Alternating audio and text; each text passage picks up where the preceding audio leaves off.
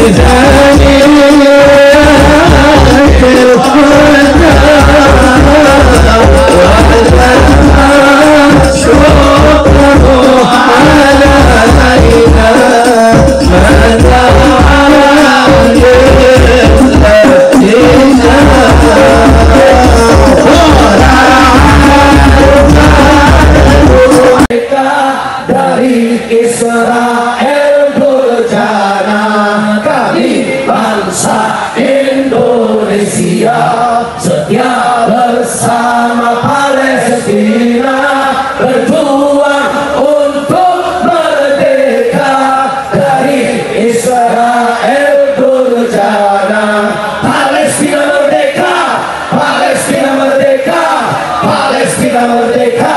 Allah Allah. Ijtima Ulama dan Tokoh Nasional 2023 nomor titik 2 06 garis miring Ijtima garis miring Jumadil Ula garis miring 1445 Hijriah. Rekomendasi tentang rekomendasi calon pimpinan nasional dan fakta integritas. Bismillahirrahmanirrahim. Sidang Pleno 2 Ijtima Ulama dan Tokoh Nasional 2023 Setelah mengingat dan berpedoman teguh dengan Al-Quran dan As-Sunnah Kemudian menimbang A. Bahwa Ijtima Ulama dan Tokoh Nasional adalah sebagai forum musyawarah dalam mengambil keputusan tentang berbagai permasalahan bangsa B. Bahwa perlunya umat Islam untuk berperan aktif memberikan masukan dan usulan calon pemimpin nasional. C.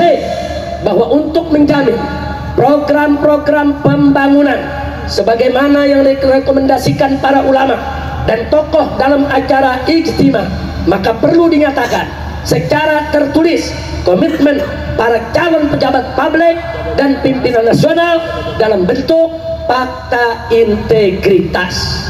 Memperhatikan saran dan pendapat yang berkembang dalam sidang pleno 2 Ijtima Ulama dan tokoh nasional yang dilaksanakan pada tanggal 4 Jumadil Ula 1445 Hijriah bertepatan dengan tanggal 18 November tahun 2023 Miladiyah di Aula Majelis Ad-Dikro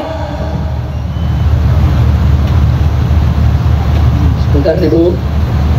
Di Aula Majelis Arzikro Sentul Bogor Jawa Barat memutuskan menetapkan satu merekomendasikan Dr. Haji Anis Rasid Baswedan dan Dr. Haji Abdul Muhaimin Iskandar sebagai calon presiden dan calon wakil presiden periode 2024-2029